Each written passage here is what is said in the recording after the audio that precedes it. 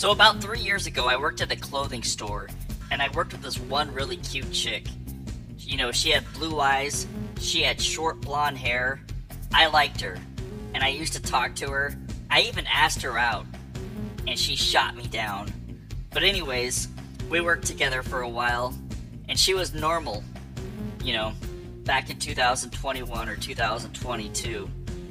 And, uh, I don't know, fast forward three years, about two weeks ago, I see her at a Chipotle, and she's like charging her phone. And now, she has green hair, she has white makeup on, she has like a whole bunch of tattoos, and she has a white dirty jumpsuit. She literally looked like a homeless Joker. Like a homeless female Joker. And she was talking to herself, laughing like crazy, like hysterical out of nowhere. Like the Joker, it was so crazy. And she was like yelling and screaming and asking people for like change.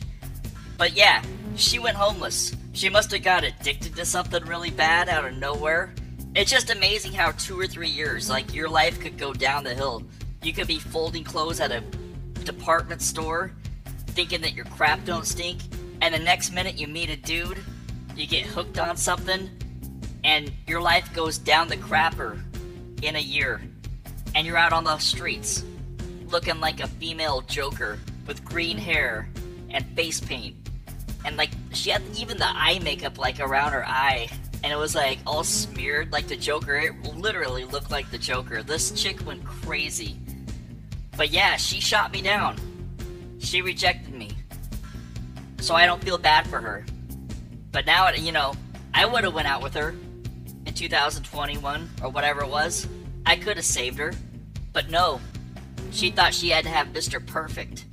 She was holding out for a hero. And look what happened. She fell for like some deadbeat that got her hooked on something, and now she's a homeless joker. That's what she gets. I don't feel sorry for her at all.